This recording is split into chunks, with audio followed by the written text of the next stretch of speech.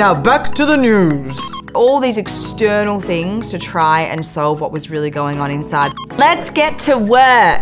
It wasn't until I learnt how to and started really loving myself again that I was then able to start to make rational choices. Hi, I'm Erin Deering, and you're listening to The Work. So sometimes I get asked about how I find that inner confidence and how do I control my emotions. The short answer to that is that I struggled for many, many years on both accounts. I had a really, really poor, really low view of myself and it resulted in some pretty terrible habits and a lot of self-sabotaging behaviors. So in this episode, I'm going to be talking about how I used to try and buy my sanity and the moment where everything changed and also some tools that helped me deal with my triggers. All right, guys, it's story time. I'm going to read a little bit from my book, Hanging by a Thread. So you might look at me these days and think that I'm pretty confident, and I am, but for many, many years, I did have a really unhealthy relationship with myself. So I'm going to read you a little bit about how I struggled. I continued these same patterns to try and find just a little bit of joy, some enjoyment, but it just seemed to be moving further out of my reach. The reality was that these actions started to bring me anxiety like I'd never felt before. I'd receive packages I'd bought online and I wouldn't even want to open them. They'd build and build, and when I'd finally open them, I'd unwrap a pair of $2,000 boots or a $3,000 jacket and not even take into account what I was opening. I was becoming numb to things that usually brought me some type of positive feeling. And this extended to alcohol, where I would pour a glass of wine for myself after the children were asleep and sit on the couch and not even drink it. The interest wasn't there to indulge in anything that I used to look forward to. Those nights were really tough. An unfulfilled day behind me and an unfulfilled day to follow. I tried so hard to have gratitude for where I was, for how fortunate I was. I felt so trapped in my own life and I just didn't know how to get out. So that little part of that book is referring to 2018. So this is the year that I exited Triangl. So it's the year that I felt like I was going to be free of all, and I'd separated from Craig at the end of 2017. I just felt like this year was going to be a really good year for me, and it wasn't. The year was so it just got worse. It got worse. And what I started doing once I'd exited Triangl, once I had all this free time and I had nothing to do, I just thought that if I just tried to externally fix my solutions, that was all I knew to do, was just to throw more money at things, buy online constantly. I went on a few trips. I'd try to drink every day. I'd take myself out for lunch and have a few drinks at lunch and then I'd come home. It was just it was just all these external things to try and solve what was really going on inside. But at the time, I still was in complete denial that I had issues really on the inside that needed working through. External things like shopping or like drinking, in my 20s, they were pretty standard things that you did. They gave you that little dopamine hit, you know, you went shopping with a friend or you bought something and it was fun and that was it. And it was kind of that little high and that and that little drop back, which you didn't even notice the drop back down. It was just that little high. The same with drinking. You'd go out with friends, you'd have a great time, you might have a hangover, but it was totally worth it. It was a really great time, you had a lot of fun. When I started doing these things to really, it was like an active conscious decision to try and fix something within myself with these external issues, that's when you notice that high. But it was almost like this doom around that high because you knew that the low and the drop was going to be really big after that moment. So it got to the point that I would buy things online and it was never enough because what I was doing was I was trying to chase a feeling that did not exist anymore. So I would find something online and I would buy it and I would expect that dopamine hit to come and it didn't. So I would try it again and I would buy something else or I would go to a shop. We were living in Monaco. I was living in Monaco. So I would go to a shop. I would drop thousands of dollars on clothes. I'd walk home with these bags and I'd just be waiting to feel good. I'd be waiting for that little bit of dopamine that never, ever came by that point. It didn't exist. I didn't even feel good. It was an immediate dread feeling by this point, which I still refuse to acknowledge. So when I was really low in 2018 and I was doing this obsessively, it was because I was trying to chase those couple of minutes and they didn't even exist. They weren't even like seconds. There wasn't even a feeling. It was chasing something that simply did not exist anymore. It was like any addiction. You're chasing that high that you previously had that doesn't exist anymore but your brain is just programmed to keep chasing this high. That's what it was like with me spending money at all these outside things that I used to like. You know, I used to like having a couple of glasses of wine. I used to love shopping to buy new clothes. So I, you know, because I love my fashion.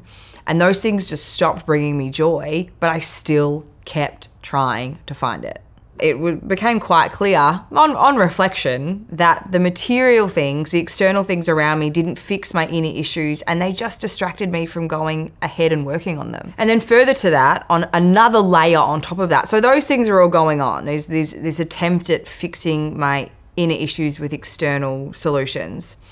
When anything happened that was an inconvenience at best and a real, actual, proper life situation at worst, I could not handle it. My body went into complete chaos, complete shutdown.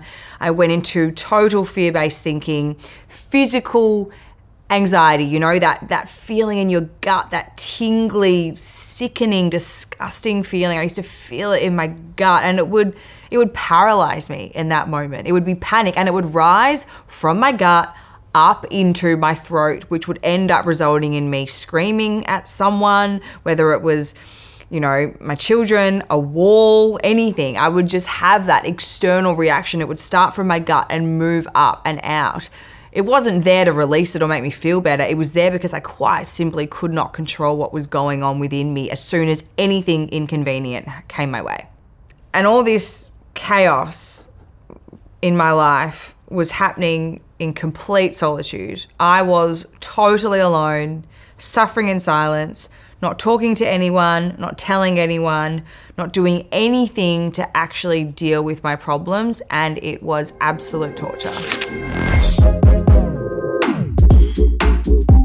So, coming up, I'm going to share some tools that I used to get my mental health back on track. Don't go anywhere. All right, guys, I get asked a lot of questions about four main things, to be honest business, self care, motherhood, and fashion. I can't talk about these things all day, every day on Instagram, even though I do try. So I've created Love Notes, which is like having a little catch up with me in your emails. Sign up via my website, erindeering.com. It's the best way to stay connected and get those weekly little drop ins on what's going on in my world. Now, back to the podcast. All right, so I told you a little bit about how broken I was, how, how bad things actually got. Now I want to tell you about how much better I am at handling these sorts of things. And I'll give you a little story about something that actually happened super recently, only a couple of days ago. So I hired a new girl um, to come into my team. I hired her about six weeks ago. She had four weeks of giving notice. She started two weeks ago. And on Sunday morning, Sunday lunchtime, I got a text message from her resigning effective immediately. Don't worry, I'm not a bitch. It wasn't because I'm terrible to work for. But she resigned and I got this I got this text and I was in the middle of a cafe and I read it. It was quite a lengthy text, and I had, it was one of those moments, right? I had reading this text thinking, uh huh, trying to process that. I had all my children with me. I've got one of them, but one of them tugging on my arm literally to be like, "Mom, mom, come outside. I want to show you this. I had two other small ones near some wine glasses that they were going to probably smash. And I just had to, in that moment, check in with what was actually going on and basically what I remember thinking, what am I going to do right now? So what I did was put the phone back in my pocket. I had to deal with my children and be there for my children in that moment. Put my phone back in my pocket, went outside, took my kids, dealt with what I was, you know, because what I was doing right then and there was, you know, having a morning with my children. And in that moment, I just parked what was going on and I just went and and continued with them like nothing had happened. Controlled it, moved on. I just want to say, by the way, that I did actually reply to her afterwards, just so I wasn't rude. I did, but I did it later in a calm state. I don't want to be like, I never wrote back. The old me would have gone into total fear based thinking what's going to happen next?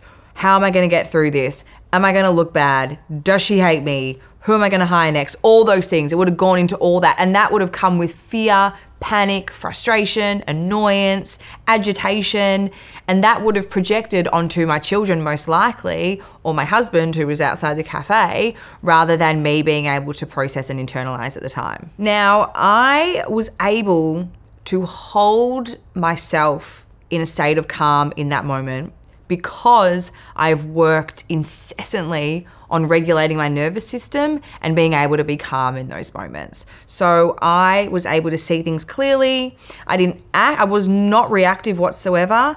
I just focused on what was actually happening around me. I stayed very present. That is one of the really big keys here. I stayed really, really present and attended to my children as I knew I was doing before I got this text message. So I just moved into that with calmness and with knowing. In addition to that, I am a silver lining, glass half full kind of girl. So I immediately knew that it helps me in those situations to think of the positives and have a silver lining. So this is all happening really quickly, mind you. This is not me stepping this out for an hour.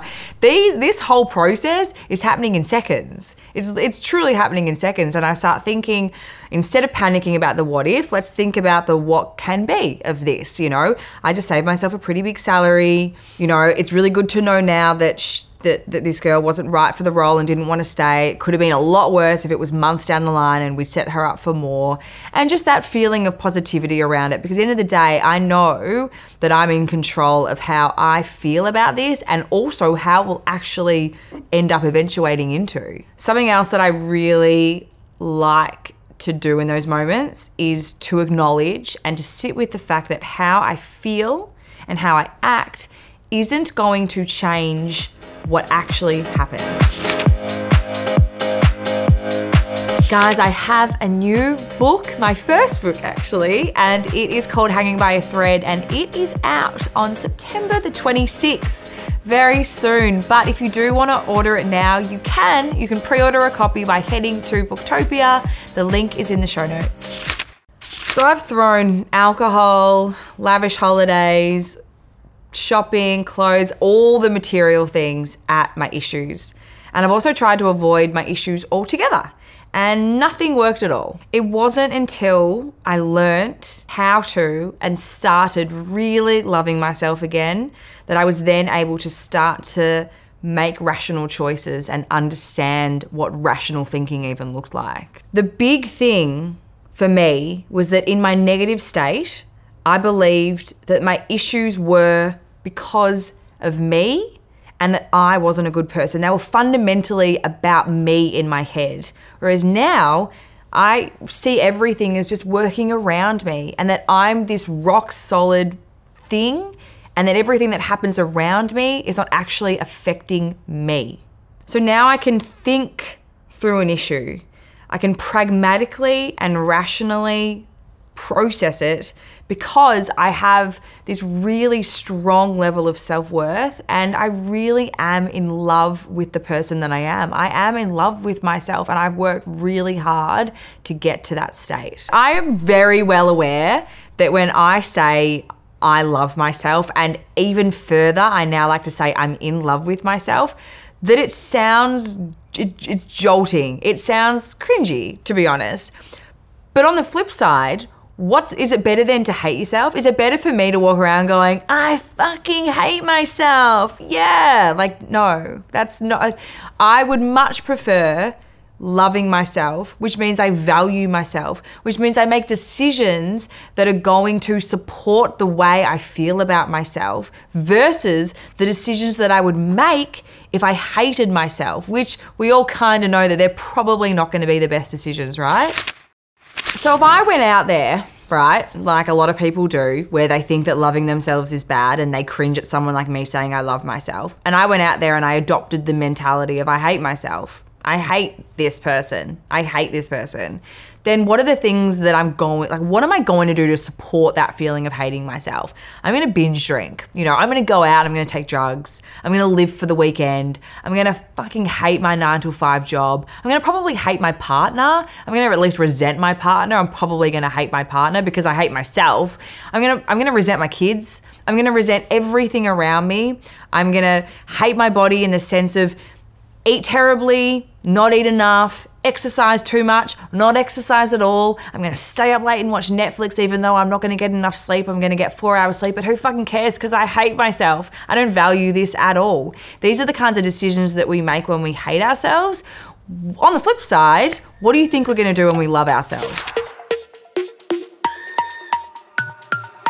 All right, guys, it is time to do the work, and this episode really is about doing the work. This is what this whole podcast is about: is doing some form of self-development, personal understanding who you are. That means looking into the deepest, darkest parts of your soul, which I know sounds really fucked up, but we are fucked up, so we need to kind of do that and seeing what comes of that. Now, when I mean the work and what I mean when I say the work, it is personal development work. And I know, I know you guys listening to this thinking, ah, oh, fuck, this bit's so lame. But it's so important. The way to start, this is this is how I did it. When I started doing the work, when I was so, so low, is I had to deal with the shit that I didn't want to deal with first. I didn't so much go and work on it straight away, but I at the very least acknowledged it. For me, it was, you know, binge drinking, cocaine, toxic relationships with people where I set myself up to be in control and I didn't trust anybody. Punishing my body through exercise and through restricting food to stay a certain way of, of, of not so much physicality but control over myself. I had to at least, at the very least, acknowledge these things about myself to then know that I could step into working on them. So, the work for you guys is to actually acknowledge the things that you know are not serving you. I don't mean fluff around and deal with like the, oh, I might go and do this. Actually, front, like face them head on, write them down, tell them to yourself. You might not even need to write them down talk to yourself about them. Start having that conversation with yourself about these things that you feel so fucking shameful about, that are actually the same things that we're all dealing with. I am telling you, no one is more screwed up than anyone else. We are all the same. Start talking to yourself about it in a way where you know you're eventually going to go and do the work on it. Thanks to you guys for tuning into this one. Uh, this one's really close to my heart and I would love to hear any of your feedback on it, so please let me know. Now, the work is split into two episodes a week business on Monday, personal on Thursday, so get around them. Now, if you're listening to this podcast, did you know that you can also watch me on Spotify and YouTube? And if you are watching me, thank you very much. I'll see you next week. Mwah! Bye!